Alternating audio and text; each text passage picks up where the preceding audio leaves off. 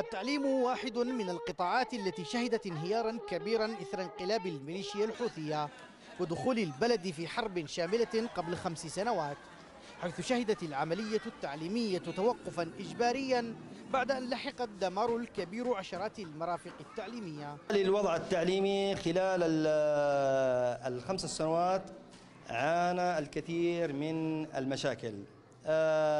من ضمنها أن كثير من المدارس تم تدميره. آه، إضافة إلى النزوح الجماعي لعدد كبير من ال- ال- المدرسين. العام المنصرم شهد تحسنا ملحوظا في انتظام العملية التعليمية. بفعل انتظام صرف المرتبات وهو ما انعكس بشكل إيجابي على المستوى التعليمي في محافظة تشهد حصارا خانقا منذ نحو خمس سنوات. السابق طبعا إنه بدأ العام السابق إنه كان الرواتب أقل منتظمة حتى نهاية شهر 12 لم نستلم الراتب ولا نعرف الأسباب كل جهات المسؤوله كل واحد يؤدي يرمي بأخطائه أو فشله إلى جهات أخرى. ونحن منتظرين فإذا ما قش الراتب يحتمل توقف العملية التعليميه بشكل عام. قاعات دراسية فارغة. هكذا تلخص هذه المشاهد الوضع التعليمي الهش في ريف محافظة تعز مع بدء إضراب المعلمين عن العمل احتجاجا على عدم صرف راتب شهر ديسمبر للعام الماضي.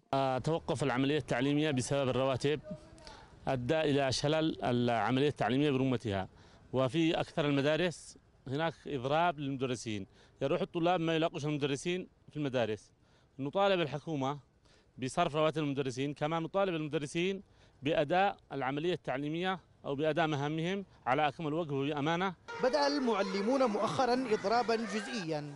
عقبته وقفات احتجاجية للمطالبة بصرف مرتباتهم. وفي ظل عدم التجاوب مع مطالبهم سينتقلون إلى الإضراب الكامل. وهو ما قد يتسبب بشل الحركة التعليمية كليا. عدم التجاوب من قبل السلطات الرسمية مع مطالب المعلمين في صرف مرتباتهم دفعهم إلى البدء بالإضراب الجزئي. وهو ما يعني العودة إلى حالة الشلل التي أصابت القطاع التعليمي خلال السنوات الماضية. الأمر الذي بات يهدد مستقبل عشرات آلاف الطلبة مجددا. فوز الحمادي قناة بلقيس تعيد